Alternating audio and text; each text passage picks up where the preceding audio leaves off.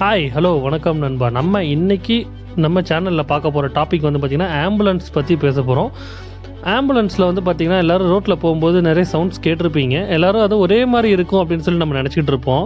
ஆக்சுவலாக அந்த ஆம்புலன்ஸோட சவுண்ட் வந்து பார்த்திங்கன்னா ஒரே மாதிரி இருக்காது. விதவிதமான சவுண்ட்ஸ் இருக்குது அந்த விதவிதமான சவுண்ட்ஸ் வந்து பார்த்திங்கன்னா விதவிதமான சுச்சுவேஷன் டிஃப்ரெண்ட்டான சுச்சுவேஷன் டைமில் அதை யூஸ் பண்ணுவாங்க.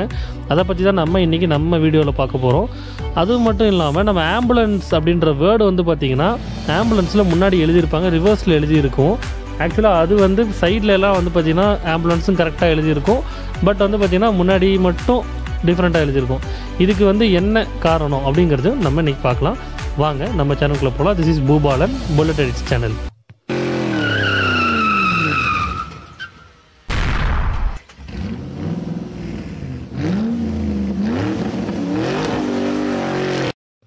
பொதுவாக ஆம்புலன்ஸோட சைரன் சவுண்ட் வந்து பார்த்திங்கன்னா நாலு விதமான சவுண்டு நாலு விதமான சுச்சுவேஷனில் வந்து யூஸ் பண்ணுவாங்க. அது டிபெண்ட்ஸ் ஆன் சுச்சுவேஷன் இந்த சவுண்டு வந்து பார்த்திங்கன்னா எதுக்கு அப்படின்னா நம்ம அலர்ட் பண்ணுறதுக்காக தான். முக்கியமாக நம்ம சவுண்ட் வந்து பார்த்திங்கன்னா மனிதனை வந்து அதை வந்து அலர்ட் பண்ணணும். அதுக்காக தான் அந்த சவுண்ட் யூஸ் பண்ணுறாங்க அதுக்கு தான் அந்த நாலு விதமான சவுண்டையும் நாலு விதமான சுச்சுவேஷனில் யூஸ் பண்ணுறாங்க ஃபஸ்ட்டு நம்ம பார்க்க போகிற சைரன் சவுண்டு வந்து பார்த்திங்கன்னா வெல் வெயில் அப்படின்னா மெதுவாக சவுண்டு அதிகமாகி மெதுவாக சவுண்டு கம்மியாகும். ஸோ இதனால் என்ன ஆகும் அப்படின்னா மெதுவாக சவுண்ட் அதிகமாகி கம்மியாகிறதுனால இதனுடைய ரிசல்டன்ட் வேவ் லென்த் வந்து பார்த்திங்கன்னா ரொம்ப அதிகமாக இருக்கும். ஃப்ரீக்வன்சி வந்து கம்மியாக இருக்கும். ஃப்ரீக்வன்சி ஃப்ரீக்வன்சி அப்படின்னா number of cycles per second எவ்வளோ சைக்கிள்ஸ் வந்து ஒரு செகண்டில் போகுது. ஸோ இதனால் இதனுடைய சவுண்ட் லென்த் வந்து பார்த்திங்கன்னா ரொம்ப லாங்காக இருக்கும். ஃப்ரீக்குவன்சி கம்மியாக இருக்குன்றதுனால இதனுடைய ஸ்ட்ரென்த் வந்து குறைஞ்சிடாது ஏன்னா எக்ஸாம்பிளாக சொல்லணும் அப்படின்னா இப்போ ரன்னிங் போகிறவங்க வந்து பார்த்திங்கன்னா வேகமாக ஓடுறவங்கனால ரொம்ப தூரம் ஓட முடியாது. கொஞ்சம் தூரம் தான் ஓட முடியும். டயர்டாயிடுவாங்க ஆனால் இதுவே ஸ்லோவாக ஓடக்கூடியவங்க வந்து பார்த்திங்கன்னா ரொம்ப தூரத்துக்கு வந்து ஸ்டடியாக ஓட முடியும். ஸோ அதே கான்செப்ட் தான் இங்கேயும். இது வந்து எங்கே யூஸ் பண்ணுறாங்கன்னு பார்த்தீங்கன்னா ஹைவேஸில் தான் வந்து இந்த மாதிரி கான்செப்ட் வந்து யூஸ் பண்ணுறாங்க இந்த சவுண்டு என்ன காரணம் அப்படின்னா ஹைவேஸில் தான் நிறைய வண்டி நிறைய வேகத்தில் போ கிராஸ் ஆகிற ஒரு இடம். ஹைவேஸ் ரோட்டில் தான் இந்த மாதிரி வந்து வண்டிகள் வந்து வேகமாகவும் அதிக வேகத்துலேயும் போகிறதுனால இது ரொம்ப தூரத்தில் வரக்கூடிய வெஹிக்கிளுக்கு கூட இந்த சவுண்டு கேட்டு அலர்ட் பண்ணணும் அப்படிங்கிறதுக்காக ஹேல் சவுண்டு வந்து நம்ம ஃபிக்ஸ் பண்ணியிருக்காங்க. செகண்டு நம்ம பார்க்க போகிற சைரன் சவுண்டு வந்து பார்த்திங்கன்னா இயல்பு. எல்ப் அப்படின்னா ஒன்றும் இல்லைங்க அந்த சவுண்டு வந்து பார்த்திங்கன்னா ரொம்ப ஃபாஸ்ட்டாக போய் அதிகமாகிட்டு ரொம்ப ஃபாஸ்ட்டாக டவுன் ஆகிடும் ஸோ இதனுடைய ஃப்ரீக்குவன்சி வந்து பார்த்திங்க அப்படின்னா ரொம்ப அதிகமாக இருக்கும். ரிசல்டன்ட் வேவ் லென்த்து ரொம்ப கம்மியாக இருக்கும். ஸோ குறைவான இடத்துல அதிகமான சப்தங்கள் எழு எழுப்புறதுக்காக இதை உபயோகப்படுத்துகிறாங்க எல்ப் சவுண்ட் வந்து பார்த்திங்கன்னா எங்கே போடுவாங்க அப்படின்னா சிட்டிக்குள்ளே மட்டும்தான் யூஸ் பண்ணுவாங்க. ஏன்னா சிட்டிக்குள்ளே வந்து டிராஃபிக் இந்த மாதிரி சமயத்தில் வந்து பார்த்திங்கன்னா லோ ரேஞ்சில் இருக்கிற வெஹிக்கிளை கவர் பண்ணுறதுக்காக இந்த எல்ப் சவுண்டை வந்து யூஸ் பண்ணுவாங்க. அதே மாதிரி இந்த எல்ப் சவுண்ட் வந்து பார்த்திங்கன்னா ஃப்ரீக்வன்சி அதிகமாக இருக்கிறதுனால சிக்னலு டிராஃபிக்கில் நிற்கும்போது இந்த சவுண்டு கேட்குறவங்க எந்த டைரெக்ஷன்லேருந்து வருது அப்படிங்கிறத ஐடென்டிஃபை பண்ணுறதுக்கு ரொம்ப ஈஸியாக இருக்கும். அதன் மூலமாக அவங்க வழி விடுறதுக்கு ரொம்ப ஈஸியாக இருக்கும். மூணாவதாக நம்ம பார்க்கக்கூடிய சைரன் சவுண்ட் வந்து பார்த்திங்கன்னா எல்ப் டூ அதாவது ஹைப்பர் எல்ப்.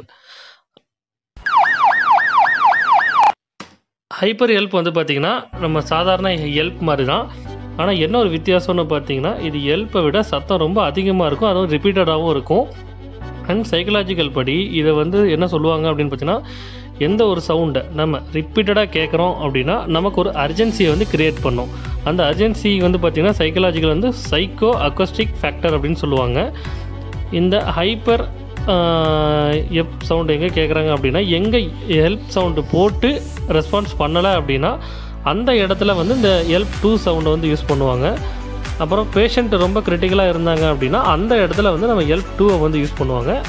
ரொம்ப எமர்ஜென்சி வழி வேணும் ரொம்ப உயிர் போகிற அவசரம் அப்படின்ற சமயத்தில் ஹெல்ப் டூவை வந்து யூஸ் பண்ணுவாங்க. அடுத்தது நம்ம பார்க்கக்கூடிய நாலாவது அப்புறம் கடைசி சைரன் சவுண்ட் வந்து பார்த்திங்கன்னா ஹை அண்ட் லோ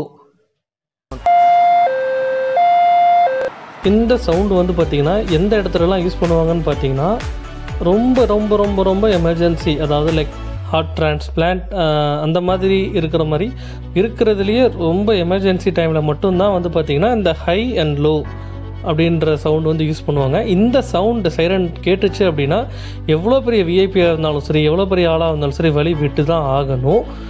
ஸோ அதுக்கு தான் வந்து இந்த சவுண்டு யூஸ் பண்ணுவாங்க. ஹை லோ சைரன் சவுண்டு வந்து யூஸ் பண்ணுறாங்க அடுத்ததாக நம்ம ஆம்புலன்ஸில் பார்க்கக்கூடிய விஷயம் வந்து பார்த்திங்கன்னா ஆம்புலன்ஸில் முன்னாடி ஃப்ரண்ட்டில் ஆம்புலன்ஸ் அப்படின்ற எழுதியிருக்கு இல்லைங்களா? அந்த வேர்டு வந்து பார்த்திங்கன்னா திருப்பி எழுதியிருக்கும் ஆம்புலன்ஸுன்றது ஆனால் சைடில் லெஃப்ட்லேயும் ரைட்லேயும் அப்புறம் வந்து பேக் சைடெல்லாம் பார்த்தீங்க அப்படின்னா ஆம்புலன்ஸ் அப்படின்றது ஆம்புலன்ஸ் இங்கிலீஷ் வேர்டு கரெக்டாக ஸ்ட்ரைட்டாக எழுதியிருப்பாங்க. இதுக்கு வந்து என்ன காரணம் அப்படின்னா இப்போது நம்ம ஆம்புலன்ஸ் வந்து ஹைவேஸு அதுக்கப்புறம் வந்து பார்த்திங்கன்னா ரோட்வேஸில் போகும்போது நம்ம வந்து எப்படி டேரெக்டாக நம்ம பார்ப்போமா? கிடையவே கிடையாது. சைடில் போகிறவங்க எல்லாத்துக்கும் ஆம்புலன்ஸ் அப்படின்றது தெரிஞ்சிடும் ஆம்புலன்ஸ் அப்படின்றது தெரிஞ்சு பின்னாடி பார்த்தா ஆம்புலன்ஸ் அப்படின்றது தெரிஞ்சிடும் ஆனால் முன்னாடி வண்டி ஓட்டிகிட்டு போகிற டிரைவர் அதாவது டிரைவிங் பண்ணிகிட்டு இருக்க அந்த ட்ரை ட்ரைவ் பண்ணுறவங்களுக்கு அது வந்து எப்படி ஆம்புலன்ஸுன்னு தெரியும். திரும்பி நம்ம கே கேமரா இருக்குது பார்த்தீங்களா? முன்னாடி வண்டி ஓட்டிகிட்டு போகிறவங்களுக்கு வந்து பார்த்திங்கன்னா பின்னாடி வர்றது வந்து பார்த்திங்கன்னா கண்ணாடியில் தான் நமக்கு தெரியும். ஸோ கண்ணாடியில் வந்து பார்த்திங்கன்னா நம்ம மிரர் வந்து பார்த்திங்கன்னா திருப்பி தான் தெரியும் நமக்கு. சைட் மிரரில் வந்து பார்த்திங்கன்னா பின்னாடி என்ன எழுதியிருக்கோ அது திருப்பி தான் நமக்கு தெரியும். ஸோ அதனால் நம்ம பின்னாடி ஆம்புலன்ஸ் அப்படின்ற திருப்பி எழுதியிருக்கிறது வந்து நம்ம சைட் மிரரில் பார்க்கும்போது ஆம்புலன்ஸ் வந்து ஆம்புலன்ஸ் அப்படின்றது நமக்கு தெளிவாக தெரியும். ஸோ அந்த காரணத்துக்காக தான் வந்து ஆம்புலன்ஸ் அப்படின்ற வேர்டை வந்து ஃப்ரண்ட்டில் மட்டும் திருப்பி எழுதியிருப்பாங்க.